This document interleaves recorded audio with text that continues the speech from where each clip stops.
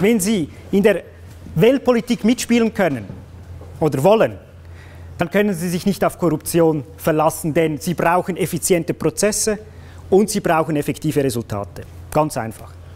Xi Jinping ist nicht nur Chairman von überall, sondern Xi Jinping ist auch physisch fast überall präsent. Ich weiß nicht, wann dieser Mensch schläft. Präsenz und Engagement, glaube ich, ganz, ganz wichtig, wenn man Veränderungen machen will.